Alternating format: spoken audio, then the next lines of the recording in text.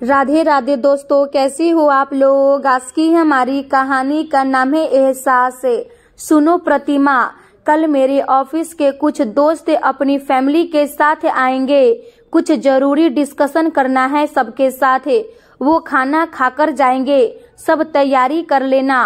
Phone रखते हुए प्रतिमा के पति रोहित बोले, सामान भी तो लाना पड़ेगा जी। आप ले आइएगा। बना दूँगी मैं। प्रतिमा बेटी को दूध पिलाती हुई बोली, मुझ पर और भी काम होते हैं। ज़्यादा दूर नहीं है मार्केट।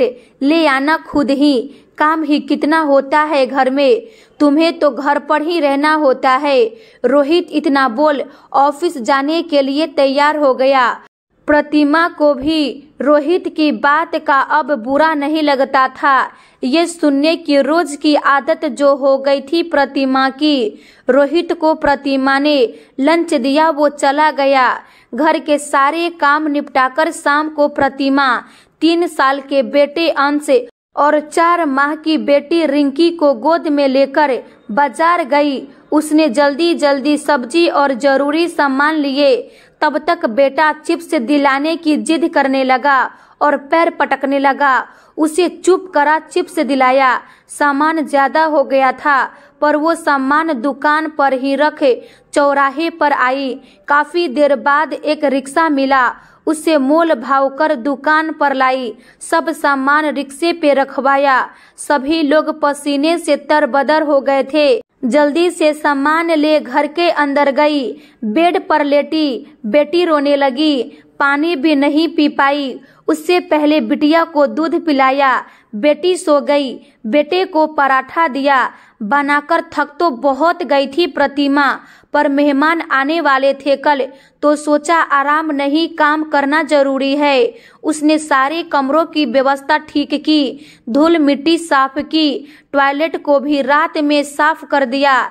ये सोच कि दोपहर को ही सब आ जाएँगे। बच्चों के घर में थोड़ी अव्यवस्था तो रहती ही है। मेहमान आने पर ही थोड़ा मैनेज कर पाती है औरतें। बहुत थक गई थी प्रतिमा। सोचा पुलाव ही बना लू। उसने नहा धोकर चटनी पीसी, सलाद काटा, पुलाव बनाए। बस बेटी के उठने पर उसे गोद में लेकर बैठी ही थी कि पति रोहित आ गए। सामान ले आई सारा। टोटल आठ लोग है। कोई चीज़ कम नहीं पड़नी चाहिए। जी लेकर आ गई। क्या बनाया है खाने में? प्रतिमा खाना लेकर आई। हर दूसरे दिन चावल बना के रख देती हो। घर में रहकर भी तुमसे कुछ नहीं होता। एक वर्किंग लेडीज़ है, जो घर बाहर बच्चे सब मैनेज करती है। तुम ही खाओ ये चावल। आदमी सुबह का गया, शाम को आता है और खाने में ये मिलता है। गुस्से में रोहित उठकर बिना खाना खाए चला गया। प्रतिमा ने रोहित से माफ़ी मांगी। उसे मना कर लाई, खाना खिलाया। रोहित खा पीकर सो गया। प्रतिमा रात के दो बजे भी रिंकी को गोद में ले दूध पिला रही थी। दिमाग में अगले दिन की टेंशन अलग हो रही थी प्रतिमा को। वो सुबह जल्दी ही उठ गई। झाड़ू पोछा कर नहा धोकर पूजा पाठ किया प्रतिमा ने। कपड़े धोकर डाल दिए। रोहित और बच्चों के उठने से पहले नाश्ता बना दिया। अब उसने मेहमानों के लिए खाना पीना बनाना शुरू किया। बिना नमक डाले बूंदी का रायता बना के सलाद काटकर, कस्टर्ड बनाकर फ्रिज में लगा दिए। नाश्ते में कटलेट पकौड़े सैंडविच का इंतज़ाम किया।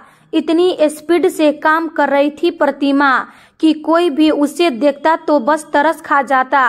खाने में shahi paneer, mushroom, mix veg pulao, puri भरवा बैगन, कद्दू बनाए, सभी लोग उठ चुके थे। रोहित उठकर खुद को टिप टॉप करने में लगा था। थोड़ा रिंकी को ले लो, मैं भी तैयार हो जाऊँ। सब लोग आ रहे हैं। प्रतिमा बोली, अरे तुम्हें कौन देखेगा? तुम बस खाना देने आना, अंदर बच्चों को देखना, रिंकी को आंटी के यहाँ दे आना। पूरी बनानी होगी, प्रतिमा को गुस्सा तो बहुत आया, पर वो कुछ नहीं बोली। सभी मेहमान आ चुके थे। प्रतिमा ने सभी की पत्नियों को देखा। सब इतनी स्मार्ट एंड वेल मेंटेन लग रही थी। प्रतिमा ने खुद को देखा और उन्हें तो उसे खुद की हालात पर उसे रोना आ रहा था। फिर भी किसी तरह साड़ी पहन उसने फेयर लवली लगाकर अपने होठ टच लिए। कम से कम कुछ तो ठीक लगू। रोहित सोफे पर लाड साहब की तरह हाथ रखकर बैठा हुआ था। प्रतिमा नाश्ता लेकर आई। प्रतिमा को देख एक दोस्त की वाइफ बोली, आपकी वाइफ क्या करती है Rohit ji? She is a just house कोई जॉब वॉब नहीं। इतनी एजुकेटेड ही नहीं है आप लोगों की तरह। घर के काम भी ठीक से नहीं होते। माँ पापा की पसंद थी, माना नहीं कर पाया। और शादी कर ली। नहीं तो मुझ जैसे को तो कोई जॉब वाली मिलनी चाहिए। रोहित प्रतिमा का मज़ाक बनाते हुए बोला, रोहित के मुँह से ये बात सुन प्रतिमा की आँखों से आँसू बह निकले। वो गुस्से से तिल मिला उठी। मेरी ये अहमियत है रोहित की नज़रों में। उसने भारी मन से सबको खाना दिया और अपने कमरे में आई। रिंकी और बेटे को सुला दिया। उसने अपने आँसू पोछे, एक चिट्ठी लिखी, हाथ में एक बैग लिया, बच्चों के माथों पर चूमा, घर के पीछे के दरवाजे से स्टेशन आ गई। रोहित इस बात से बिल्कुल अनजान था। सभी लोग चटकारे लेकर खाना खा रहे थे। कुछ भी हो रोहित जी, आपकी वाइफ बहुत अच्छा खाना बनाती है। दो छोटे बच्चों को संभालते हुए इतने बड़े घर की क्लीनिंग कुकिंग इतने अच्छे से करना कोई मज़ाक बात नहीं। ऊपर से आपके घर में कोई मेड भी नहीं है। मैं तो रोहन से कभी नहीं कह सकती कि गेस्ट बुला लो। कभी बुलाते भी हैं तो बाहर ही खाने जाते हैं सबको लेकर। दो मेड है मेरे यहाँ। एक ही बेबी है but I can't manage hats off to your wife Rohit ji ये बात सुन, रोहित गर्व से फूले नहीं समा रहा था। तभी एक दूसरा दोस्त बोला यार रोहित, तूने भाभी जी को इतना कुछ बोल दिया। उन्हें बुरा तो ज़रूर लगा होगा यार।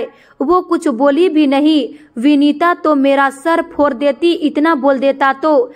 बिल्कुल भारतीय पत्नी है वो। प्लीज़ रोहित, भाभी जी को बुलाओ। उन्हें भी हम सबके साथ बात करने दो। सबके कई बार फोर्स करने पर रोहित अंदर आया। उसने चारों तरफ़ प्रतिमा को देखा।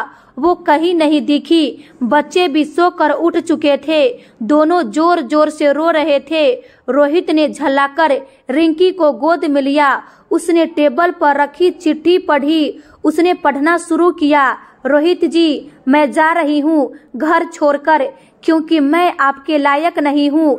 I am just a house wife आप अब किसी नौकरी वाली शहर की लड़की से शादी कर लीजिएगा, जो आपकी और आपके बच्चों की अच्छे से देखभाल कर सके, घर और बाहर सब देख सके। मैं आपके कलेजे के टुकड़े को इसलिए नहीं लाई, क्योंकि मैं कमाती नहीं हूँ। मुझे उम्मीद है आप उनकी देखभाल अच्छे से कर सकोगे। मेरा भी अपना आत्म सम्मान है रोहित जी। जब मेरी आपकी नज़रों में कोई अहमियत ही नहीं है तो क्या फ़ायदा उस घर में रहने का? आप सिर्फ़ हमसे कुछ कहते थे तो मुझे इतना बुरा नहीं लगता था, पर आज आपने समाज के सामने बेजत किया, जो मेरे बर्दाश्त के बाहर था। पता नहीं कहाँ जाऊँगी, पर उस घर में नहीं आऊँगी। शाम तक का खाना बना के रखा है। अगले जन्म में शायद मैं आपके लायक हो जाऊँ। अपना और अपने बच्चों का ख्याल रखिएगा। इस जन्म में तो सिर्फ़ आपकी हो चुकी प्रतिमा रोहित के हाथों से चिट्ठी पढ़ते हुए ना जाने कब रिंकी ज़मीन पर फिसल गई। पता ही नहीं चला उसे रोहित की आँखों में इतने आँसू थे कि उसे सब धुंधला दिखाई दे रहा था। उसने रिंकी को उठाया। जिसकी रोते रोते सांस भी चढ़ आई थी, बेटा भी मम्मी मम्मी बोलकर ज़ोर ज़ोर से रो रहा था। बच्चों की आवाज़ सुन रोहित के सभी दोस्त अंदर आ गए थे। क्या हुआ रोहित? बच्चे इतना क्यों रो रहे थे? रोहित डबडबाई आँखों से बोला तुम लोग अभी जाओ। सभी लोग आपसी झगड़ा समझ चले गए। रिंकी ने पोटी कर दी। तभी रोहित को समझ नहीं आ रहा था कि कैसे साफ़ करे। कभी की हो तो जाने। उसने वाश वेसिंग में खड़ा कर दिया। रिंकी को किसी तरह से उसे साफ़ किया। रिंकी के कपड़ों में रोहित के कपड़े भी पोटी से खराब हो गए थे। रिंकी का चेहरा रो रो कर लाल हो गया था। रोहित ने रिंकी को गोद में लेकर ही दूध गर्म किया। दूध ज़्यादा गर्म हो गया। रिंकी का मुँह जलने लगा। रोहित ने पानी में रख दूध ठंडा किया।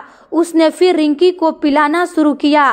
रिंकी बिल्कुल बोतल मुँह में नहीं ले रही थी। उसे प्रतिमा की दूध की आदत जो थी, रिंकी और बेटे के रोने से, रोहित का सर दर्द से फटा जा रहा था। उसने किसी तरह दोनों बच्चों को बाइक पर बैठाया। उसने रास्ते भर प्रतिमा को ढूंढा। वो कहीं नहीं दिखी। फिर रोहित सोचा एक बार स्टेशन चल के देखता हूँ। शायद अपने घर जा रही हो। वो स्टेशन आया। उसने इधर उधर नज़र दौड़ाई। उसे प्रतिमा कहीं न दिखी। रोहित एक हाथ से रिंकी को गोद में लिए। दूसरे हाथ से बेटे की उंगली पकड़े। बहुत ही बेबस नज़र आ रहा था। तभी बेटा चिल्लाया, पापा, मम्मी, वहाँ पे बेटे ने बेंच पर बैठी प्रतिमा की तरफ़ इशारा किया। सच में, ये तो प्रतिमा ही थी। रोहित प्रतिमा की ओर दौड़ा। प्रतिमा की आँखें रो रो कर सुर्ख लाल पड़ी थी। रोहित प्रतिमा के पास आया। उसने रिंकी को प्रतिमा के गोद में डाल दिया। घुटने के बल बैठ गया। हाथ जोड़कर बोला, प्रतिमा, हमें माफ़ कर दो। तुम्हारी, मेरी और बच्चों की ज़िंदगी में क्या अहमियत है? मैं तीन घंटे में ही समझ गया। मुझे नहीं चाहिए नौकरी वाली वाइफ मेरे लिए तो मेरी प्रतिमा ही। दुनिया की सबसे अच्छी पत्नी है। घर चलो प्रतिमा। आज के बाद मैं तुम्हें कुछ नहीं बोलूँगा। एक मेड लगा दूँगा, हर काम में हाथ बटाऊँगा। तुम कैसे इतना कर लेती हो? मेरी भी हर ख्वाहिश पूरी करती हो। मुझे और हमारे बच्चों को, हमारे घर को तुम्हारी ज़रूरत है। रोहित रो रो कर बोला। प्रतिमा ने रोहित के हाथों को चूम लिया। माफ़ी मत मांगिए, मैं भी इन तीन घंटों में आपकी अहमियत समझ गई। ये दुनिया अकेली औरत को कितनी गंदी नज़र से देखती है। घर छोड़कर तो आ गई, पर डर बहुत लग रहा था आपके बिना। मुझे माफ़ कर दीजिए। रोहित ने प्रतिमा को गले से लगा लिया।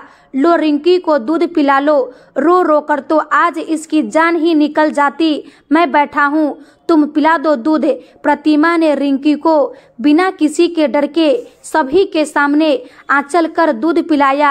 आज उसके साथ उसका पति जो था तो डर किस बात का था? आशा करती हूँ दोस्तों, ये कहानी आप लोगों को अच्छी लगी हो तो प्लीज़ वीडियो को लाइक शेयर एंड सब्सक्राइब कीजिएगा। धन्यवाद।